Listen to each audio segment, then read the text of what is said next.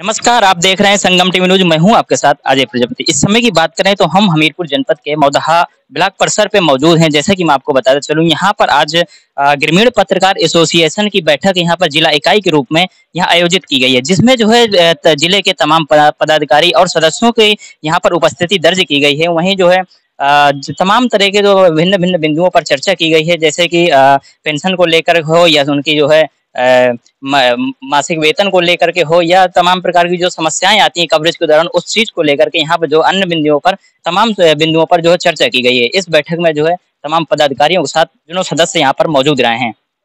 आज हमारे हमीरपुर जनपद की जिला इकाई की बैठक संपन्न हुई ग्रापिया की, जिसमें मुख्य बिंदु हमारा संगठन को कैसे मज़बूत करें, उस पर चर्चा हुई।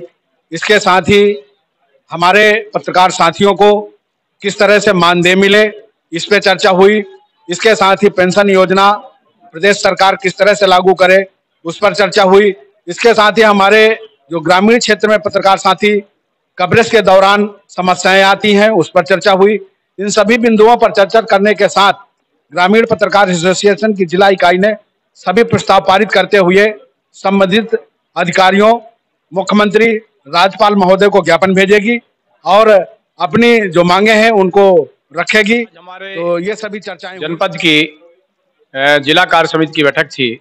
उस पर सभी तहसीलों के पदाधिकारी और ज़िले के पदाधिकारी सारे लोग उपस्थित रहे और हम लोग संगठन के विस्तार के संबंध में और संगठन और अपने पत्रकार साथियों के साथ किसी भी प्रकार की कोई समस्या या क्या आ रही है इस विषय पर गहन विचार हुआ।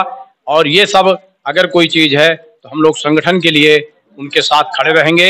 ये बात बताई गई कि संगठन के लिए अगर कोई है तो निश्चित रूप से हम संघर्ष के लिए भी तैयार हैं और अधिकारियों से और सबको इस बात पर अवगत कराया जाएगा कि हम, हमारी मांगे ये हैं और इन मांगों पर निश्चित रूप से हमारे साथियों का सहयोग हो और हम उनका सहयोग करें। और पत्रकारिता सिर्फ़ जानकारी का विषय है। पत्रकारिता में जिसके पास जितनी जानकारी उसके बड़ा बड़ा पत्रकार। जिसके पास जानकारी नहीं वो किसी बैनर ज़िले से उपलब्ध करा दी ये कार्यालय होगा आप कार्यालय होगा। बैनर यहाँ से उपलब्ध परंतु इसको अधिकारियों के बीच में ग्रामीण पत्रकार साथ लगातार होता रहे ताकि संगठन का एक महत्व लोगों तक पहुँचे कि ग्रामीण पत्रकार फ़ील्ड में काम कर रही है। ये इम्पोर्टेंट विषय है। अब जैसे हमने ज़िले की बैठक का डाला तो दिखाई दे रही हम जा रहे हैं। हम यदि कोई चीज़ ज़िले से प्रदेश से भी कोई चीज़ आती है तो आप उसको तुरंत जो है अच्छा उसके लिए हम अपने आप अधिकारियों की नज़र में अगर कोई समस्या हम जाते हैं तो उसको पता होना चाहिए कि ग्रामीण पद की मजबूती मिलती है। बुद्धेला जी रखिए आपकी कुछ समस्याएँ। आइए। हमारी समस्या ये जो आदित्य जी ने कहा है।